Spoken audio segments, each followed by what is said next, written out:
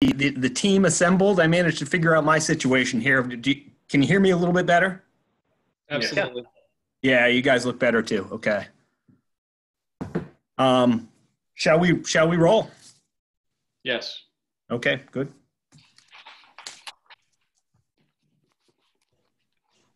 All right, so I will call the June 23rd, 2020 meeting of the uh, Cape Elizabeth Zoning Board of Appeals uh, to order. Um, see If you can find the agenda here, I think that the first item on the agenda is simply to approve the minutes from the, uh, from the May 26th, uh, 2020 meeting. Uh, Folks have had a chance to review those. Any thoughts, suggestions on the meeting minutes before we seek a formal motion to approve? No. Hearing I none. I move that we approve the minutes. Very good. Do we have a second? Second, Was that Joe? yes. Good. Um, any comments on the minutes? Hearing none, all in favor? Uh, Mike Valencourt in favor? Aaron Mosier in favor? Kevin Just in favor? Mike Tadema Wieland in favor. Joe Colin in Quatrieri in favor. And I think I heard Uh, Colin in favor as well, right? Yep, Yes. good, thumbs up. Okay, excellent. Eh, Hold on, one more. Matthew Caton, and I would abstain as I did not attend apparently last meeting.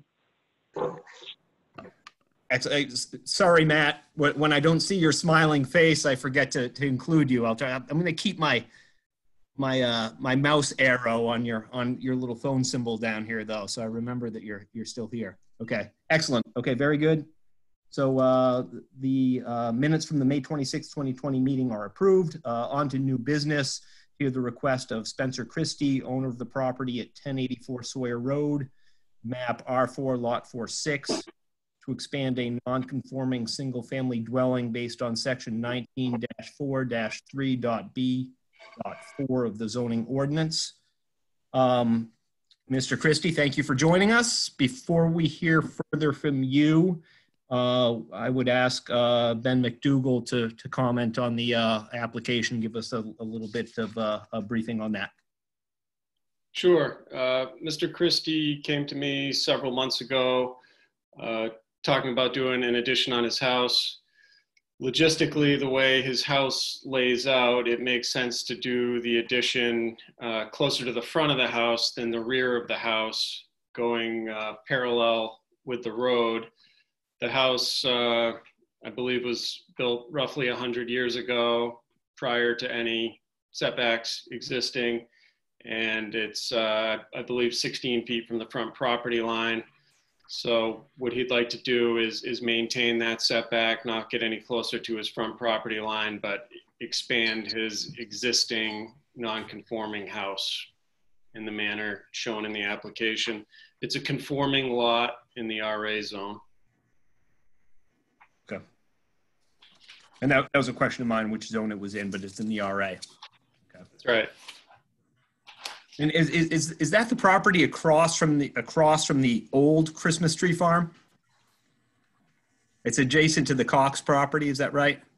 Yeah, so What- we're we're next to the Cox Farm, and I think the Christmas tree farm used to be across the street. Correct. Yep. That's right, back in the day. Yeah, okay. I, I bike by your place all the time. Oh, excellent. area. Um, okay, good. Uh, Ben, any, um, did we hear anything? Maybe I'm a little, I guess I'm a little early on in the sequence, but we, have we heard anything from, uh, members of the, the public or abutters or anything? No, I don't have any correspondence. Okay, no comments. All right, well, Mr. Christie, we turn it over to you then to, uh, offer an explanation on, on the application. Uh, I think we've got a, a good deal of information that you've already submitted, but any comments that you want to make, we'd be, uh, interested to hear those. Yeah, thanks for having me. Um, essentially, what we're looking at is to, you know, from what you can see from the plans, is just a bump out from uh, to make a first floor master bedroom bathroom. Uh, we plan on staying in the house for a long time, and uh, you know, as we may get older, or you know, kind of make a new bedroom and do it on the first floor rather than having to constantly go up and down stairs. Um, I tore my ACL a couple years ago, and our stairs look like they're from the 1920s because of how steep they are. Um, so it would be nice to have just a little outlet um, that's just off of the main house, um, and it's just obviously too close to the road. Um, my wife and uh, our son, our son is 21 months, so we uh, we all live in the house together and looking to just make it from a two bedroom, two bath to a three bedroom, three bath. Many of us lived the 1920s experience, so um, and, uh, that's a that's a Cape Elizabeth thing. yeah. Um, questions uh, from the board for the applicant uh, and or and or for Ben. Um, I, I guess one thing I wanted to to address quickly, and it looks like this is all set, um, Ben, but just a quick confirmation that the the sewage disposal is is good to go for the expansion. It is. Uh, a new a new septic system was installed a few years ago. Uh, three bedroom septic. I inspected it and approved it. Other questions for uh, Mr. Christie and for for uh, Ben McDougal? Uh, I have, a, Mr. Chairman, I have a question. A quick one for Ben first. I just want to confirm that the setback here is 40 feet. The road front setback is 40 feet. That's correct. Um, So my, my question for Mr. Christie then is just to confirm that this new addition is actually going to be uh, fully within the setback area. Area, is that correct? Yes. So given from the front, yeah, it'll be fully in the setback area. What, um, what, what, uh, uh, Ben alluded to some consideration of, of putting, um, the addition somewhere else. What, what, what did you, what kind of things did you consider to keep it out of the, um, setback area? So originally, our idea was to. There was already an addition put on the house. I think in 2000, what you can see from the elevation, um, kind of what goes off onto the deck, essentially the sunroom off of the kitchen area. Originally, I had planned to maybe put an uh, a two bedrooms or one bedroom, one bath above where that sunroom is now, and raise up the roof and do it that way. And um, it just wasn't really feasible. It was just going to be a, a big intrusion on our um, current kind of lifestyle. And it would also kind of block out the bedroom that's in there now because the master bedroom gets a lot of natural sunlight and it lo- overlooks the backyard. So it would kind of make like a, a dead space in the middle. Um, so it just wasn't really feasible. And we talked to the contractor and he mentioned that a bump out on the first floor would be much, uh, much easier and much more efficient.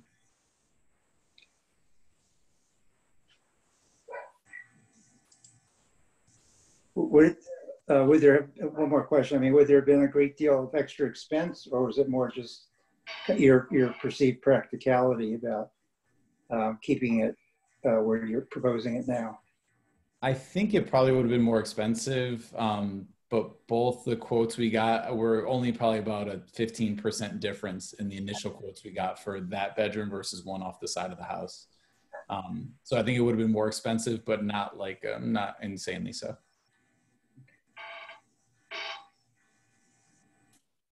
Thank you. Sure.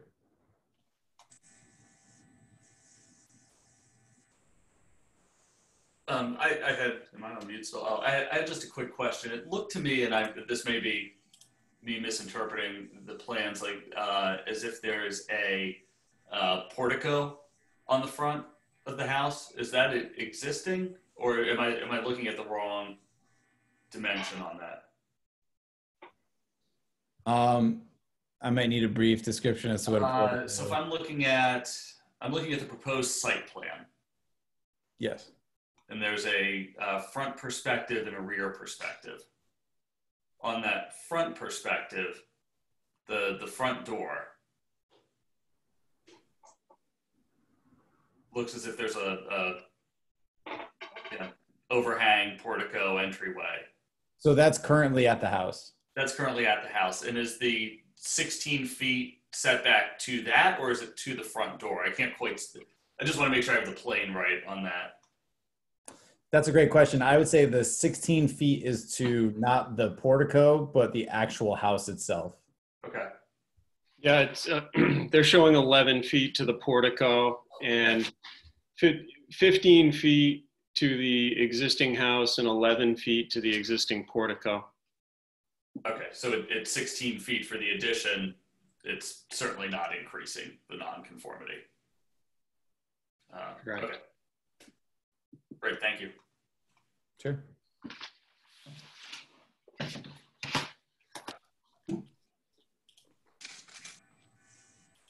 Additional questions?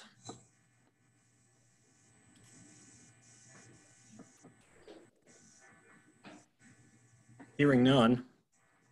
Uh, And, and from what I can observe, we don't have other members of the public, other abutters uh, here on the, on the Zoom call. Uh, If there is anybody, then please speak up uh, so we can hear your, your input. But hearing and seeing nobody, I think we can move on to the, the board consideration of the application unless there are any last minute questions for, for uh, Mr. Christie. Hearing none, on to board consideration. What, uh, what are everybody's thoughts?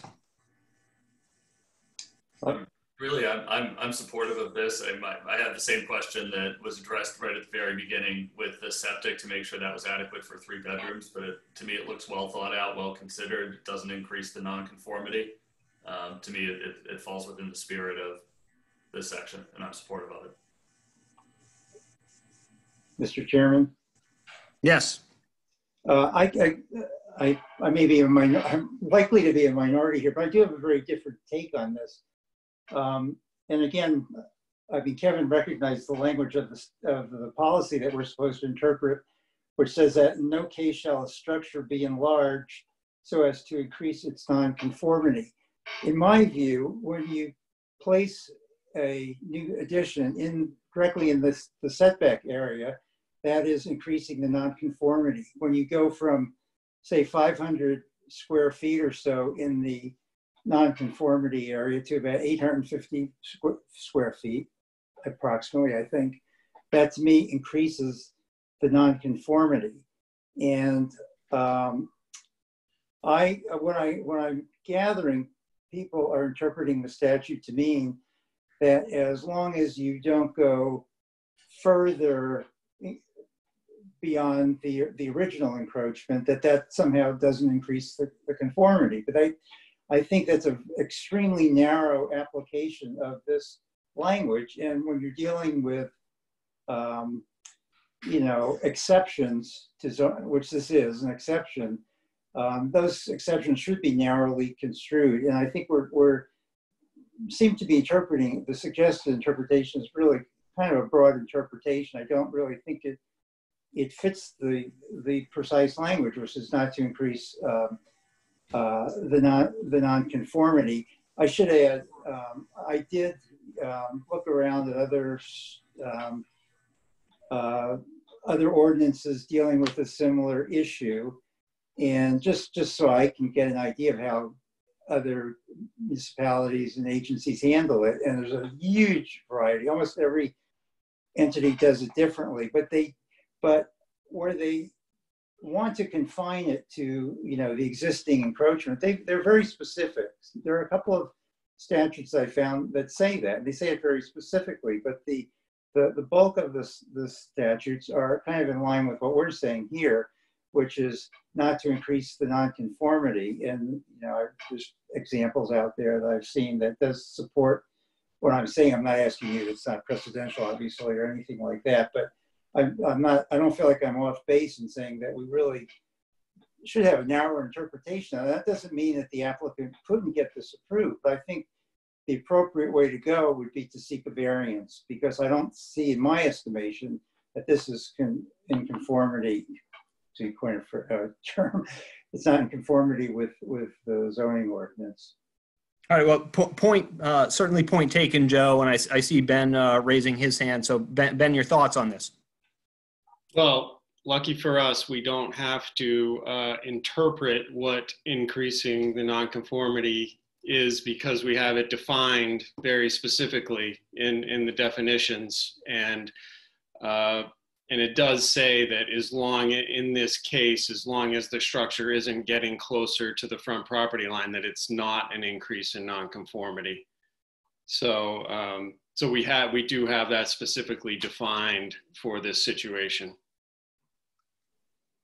And Joe, I, I, I share your concerns. I actually think that there are there are other um, there are other aspects of the uh, application process of this section and, and of the zoning code that, that kind of deal with the concern that again I, I share with you about it being too big. You know, certainly the set the septic system. You know, it's designed for three bedrooms. So you know, uh, the hypothetical applicant, not not speaking directly to you here, Mr. Chris, but in a similar situation, you couldn't build a a seven bedroom home um, through this uh, type of, of scenario because you would then need that variance to have that, um, you know, probably larger septic uh, installed. So there, there are other guardrails, I think, that, you know, help us uh, look at some of these applications and, and assess how they uh, fit within, you know, the broader context of the zoning code.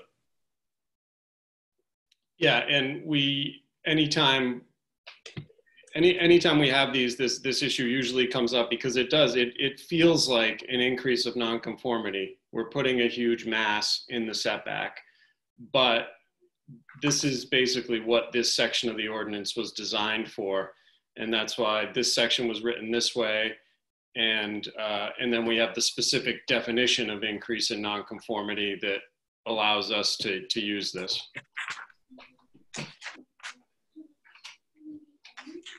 Matthew. Uh, Thank you, Chair. I have a follow-up for Ben and also for Joe. Ben, can you direct us to the section in the uh, definition so we can follow along as to the defined term that you're referring to? That's page, uh, page 17 of the zoning ordinance, uh, uh, you know, uh, increase in nonconformity of a structure. Any change in a structure or property which causes further deviation from the dimensional standard creating the nonconformity, such as but not limited to reduction in water body, tributary stream, and lot coverage or increase in height of a structure, property changes or structure expansions which either meet the dimensional standard or, or which cause no further increase in the linear extent of the nonconformance of the existing structure shall not be considered to increase the nonconformity.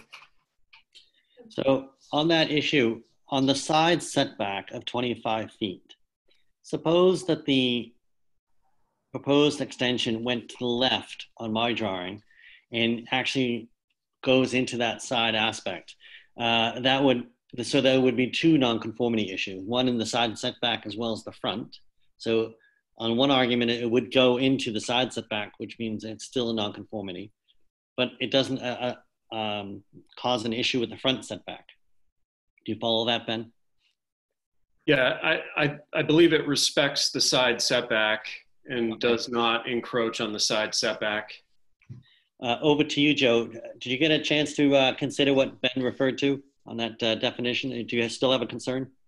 Um, in my initial reading, I think yeah, I, I think um, I would agree with Ben's interpretation of, of what this is. I mean, I was kind of surprised to find the definitional section, so I'll admit to some embarrassment about that. But um, it does seem to it does seem to say say what Ben says it says. So. And by the way, um, I was not looking at that section either. I was looking under the uh, N section, uh, but a, well, look at that. It's on the I section. So um, me too there, Joe. Great. uh, okay, that, that answers my questions. Gentlemen, this is a collaborative process, and, and so it's we want everybody's input and questions and thoughts. So uh, um, there's there's no reason to to apologize for, for, all questions are good questions, right? Isn't that what we what we've learned over the years? Joe, I had the same issue when I first joined the board. Same exact. Uh, other other thoughts, comments? I mean, I'm uh, I will jump on the uh, the Kevin bus, so to speak. Um, and and I think that was a, a, good dialogue, a good conversation about you know the the uh, specific uh, provisions in our ordinance, and uh, um, with respect to what Joe raised, and and with respect to what Matthew raised, there's also an, uh, a for example provision in that definition, which is helpful, which makes it very clear that, uh, that, that, that there's no increase so long as the required setback is is the same uh, for any for any expansion. So I think that's helpful for us. But again, returning to the to the application and to Kevin's comments, looks like everything's in order from my perspective, uh, and I'm prepared to to vote for um, approving the application. But I'd like to hear from others. I would tend to agree. Um, uh, one of the issues sometimes we find is that to the greatest practical extent, practicable extent, um, and when you're looking at adding into a house, only certain areas make sense. Yeah, from looking at the overall plan, oh, why don't you add in the back? Well, because of a flow inside the house or the expense of redesigning every room to get around around that. And if it makes sense from from the applicant's design process to put the put the the addition there, that it then that fits me.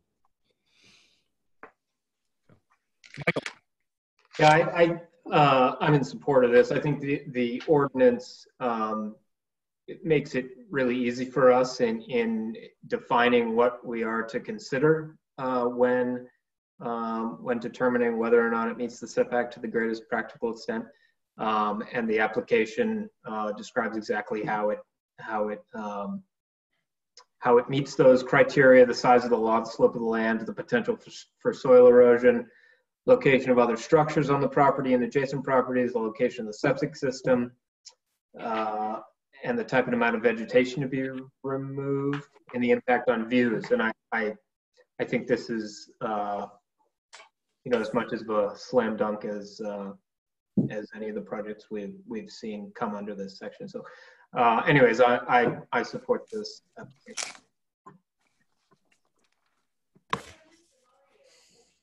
All right, good. Well, I'm going, I'm going to move forward then, and um, I would entertain a motion to approve the request of Spencer Christie, owner of the property at 1084 Sawyer Road, map R4, lot 46, to expand a single-family dwelling based on section 19-4-3.b.4 of the zoning ordinance. So moved. We have Aaron on the motion. Do we have a second? Alan will second. Colin on the second. Excellent. Further discussion? Hearing none. All in favor? Mike Valencourt in favor? Aaron Mosier in favor. Joe Barbieri in favor. Colin in favor? Kevin in favor? Michael Tadema Wheeland in favor. Matthew Caton in favor. Excellent. Uh, Then the, the motion carries uh, unanimously. We will move on to the findings of fact. Proposed finding, finding of fact one, the property is a non-conforming lot in the RA zone. There is an existing single-family dwelling on the property that is also non-conforming. Proposed finding of fact two, the existing house built in the 1920s doesn't meet the required front setback. The owner would like to expand the house without getting closer to the front property line. Proposed additional findings of fact. Proposed additional finding of fact one, the zoning board of appeals has considered the size of the lot, the slope of the land, the potential for soil erosion, the location of other structures on the property and on adjacent properties, the location of the septic system, and the impact on views. Proposed additional finding of fact two, the proposed structure will not increase the nonconformity of the existing structure. Proposed additional finding of fact three, the proposed structure is in compliance with the setback requirement to the greatest practical extent. And proposed additional finding of fact four, the building reconstruction meets the setback to the greatest practical extent based on the criteria in section 19-4-3.b.2 in the zoning ordinance. Uh, I'd entertain a motion to approve the uh, proposed findings of fact and proposed additional findings of fact. Uh, We oftentimes have some friendly amendments to, to that. So Matthew, why don't you lead off before we get to the motion?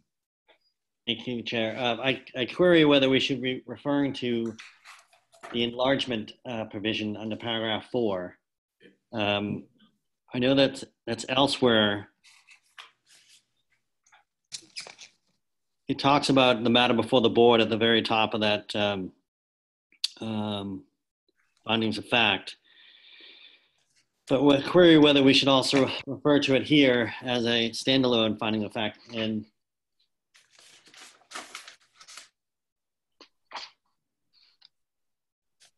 That's my point, is whether we should include a paragraph that talks about a finding of fact dealing with the enlargement and what we just talked about with the, um, the setback issue.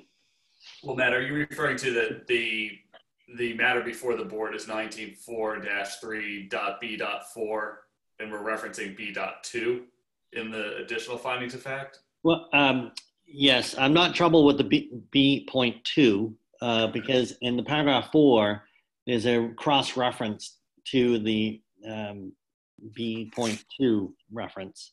I'm fine there. I'm just thinking that the gateway door that we have to, that we should include is the paragraph that talks about enlargement, the, which addresses Joe's point as well as the talk, uh, the, the point that uh, Ben raised in the definitions.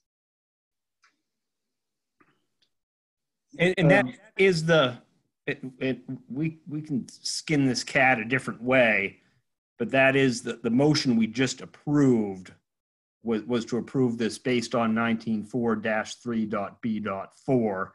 And then we go to B two for the greatest practical extent analysis. So we can, we can build that out a little bit if the board feels it's, it's important, but I feel as though the, the, the proposed findings adequately address those issues because again, the motion we just approved was on B dot four. Mr. Chairman?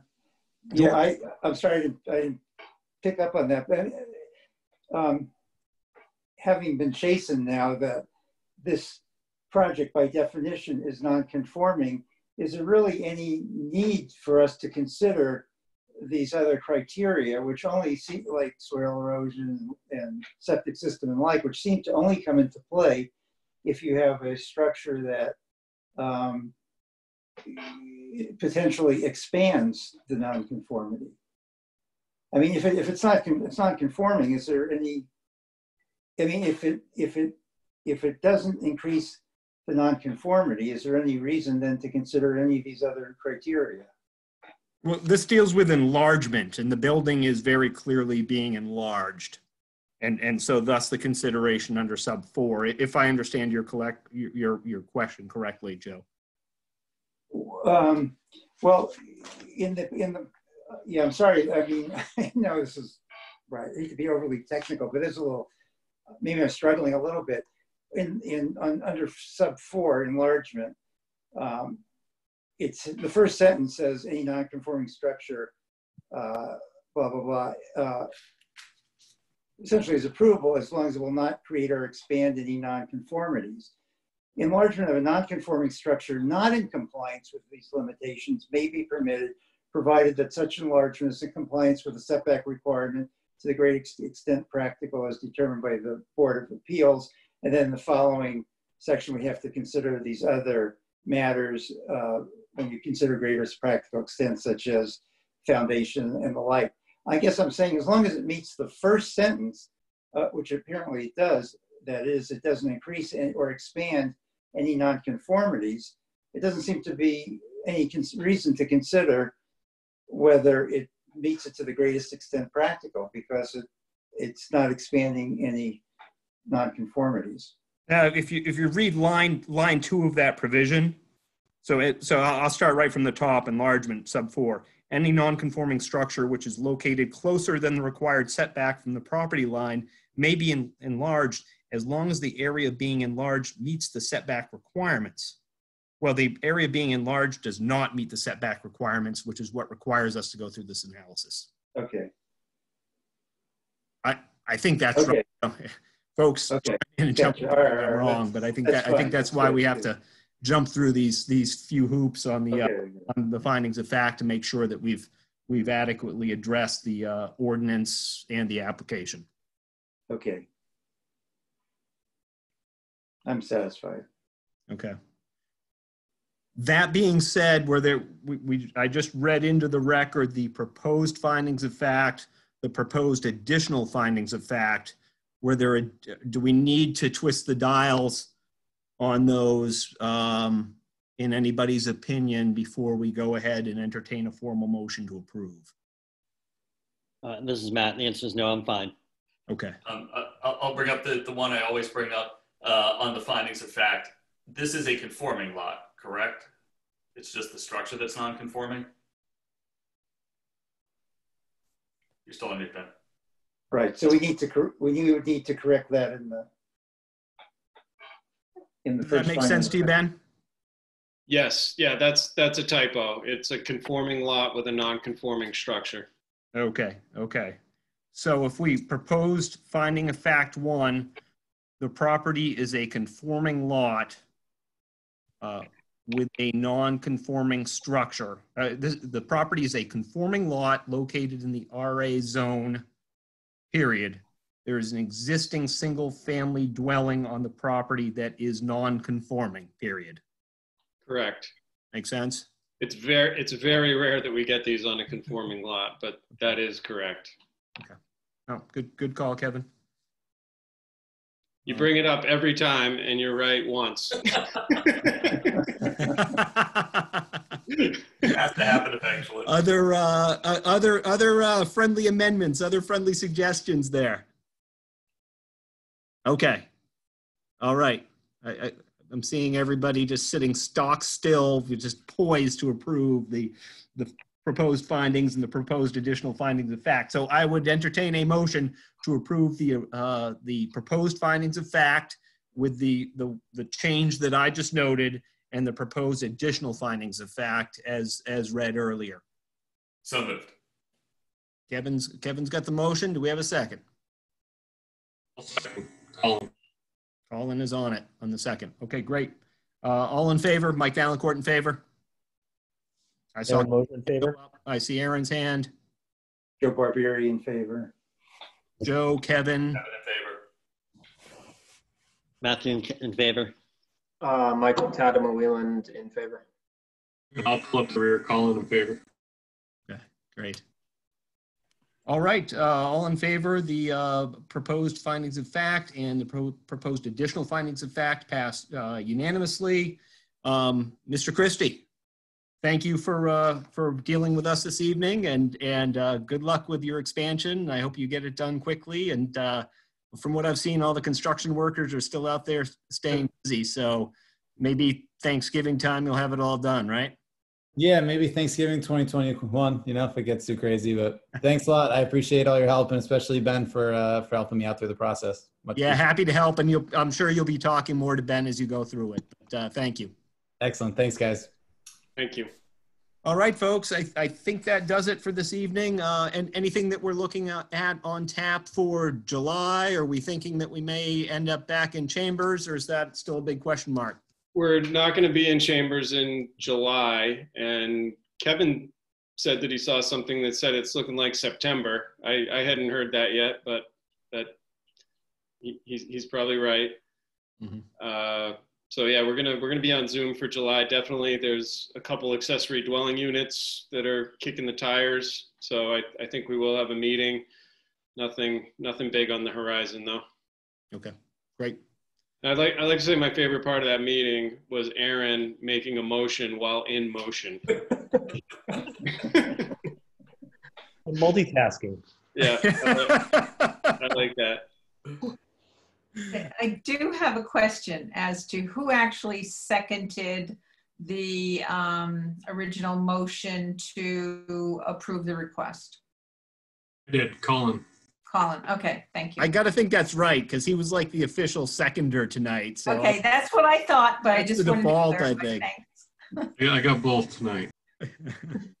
All right. Well, well, thank you all. Uh, thanks, Ben, for your work and Carmen for your work as well. And uh, yeah, we'll be back at it uh, potentially in July. Happy July 4th, all. Okay, Take care, guys. guys. see ya.